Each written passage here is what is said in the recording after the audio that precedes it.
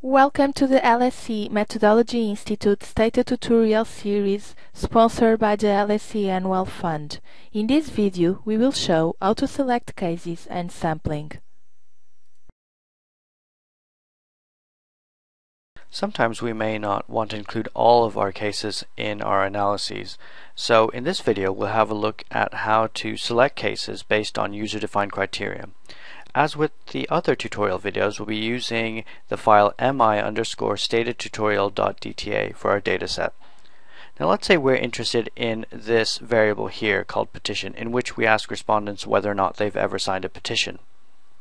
To make a frequency table for this variable we type tabulate and then we can click on petition and we can see that in the whole of the data set 63 respondents say they've never signed a petition and 133 respondents say they've signed a petition before.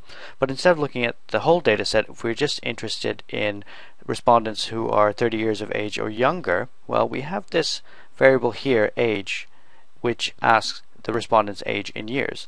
So to do this, to select the younger respondents in our data set, we again type tabulate click on petition and then add if age is less than or equal to 30. So in other words, we do tabulate petition to create the same frequency table, but only selecting cases if the age of the respondent is less than or equal to 30 years. And we see that we have another frequency table, but note that the total is a lot less because all of the respondents who are more than 30 years of age have been excluded. So within this subset, we see that of the younger respondents, those who are 30 years of age or younger, 15 have never signed a petition and 20 have signed a petition before. So this just excludes certain cases or sets them aside, but Stata also makes it quite easy to drop cases permanently if they don't fit your selection criteria.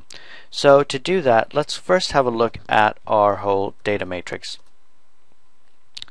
So using the command browse as before, we can see the data matrix and we can see all of our cases, which each are represented by a row, and we can see that in total we have 200 cases in our data set. So let's go back to the command line. If we now wanted to get rid, permanently get rid of the cases that don't fit our criteria, then we type in drop if age is greater than 30.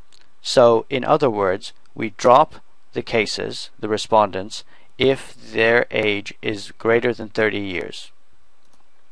And we can see that Stata tells us that 164 of the observations have been deleted.